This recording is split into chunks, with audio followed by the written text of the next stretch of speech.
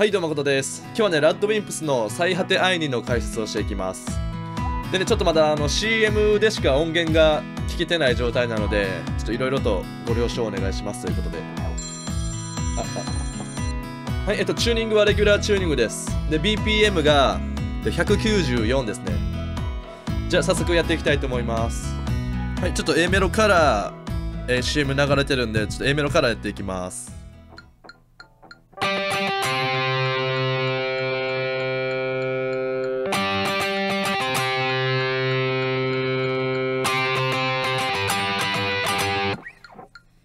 はい、えっと、ここはね、2弦の13フレット、3弦の12フレット。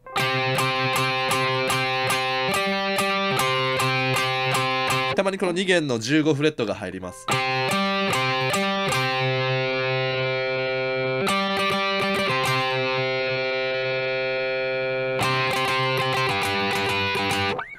1弦8フレット2弦8フレットでも大丈夫です。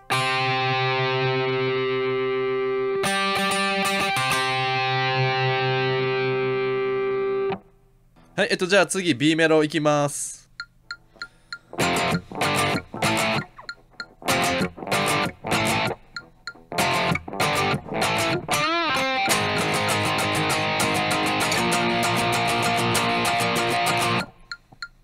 はい、えっと、ここはパワーコードです。えー、またルートの音を、フレット出てきます。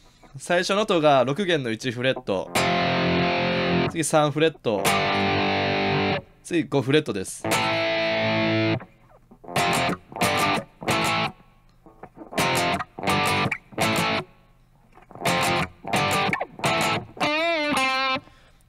えここが3弦の7フレットチョーキングして戻してで最後5フレットですね3弦の。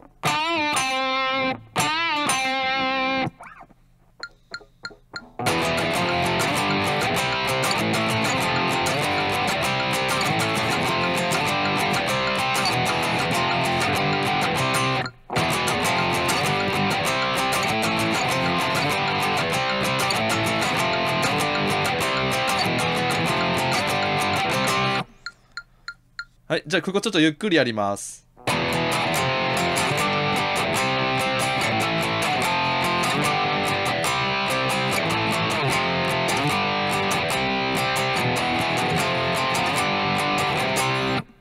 で、最後、多分ね、感想兼イントロなんですけど、ちょっと最後、CM の最後にうっすら聞こえるんで、そこやります。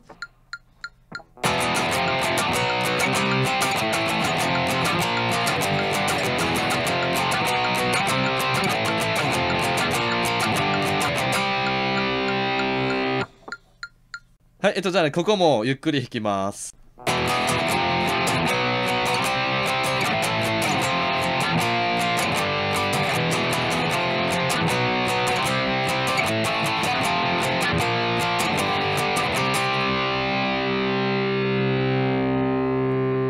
はい、これ感想です。多分ね、まあ予想なんですけど、多分イントロじゃないんですかねって思います。ちょっとね、リード、だいぶ聞き取りづらいんですけど、多分こんな感じっていうのを一応やっときます。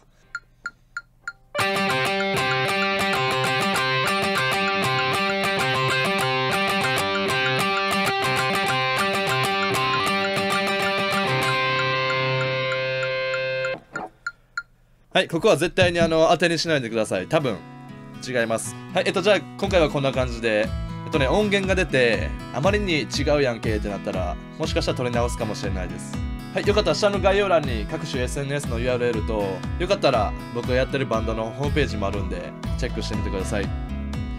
ではまた。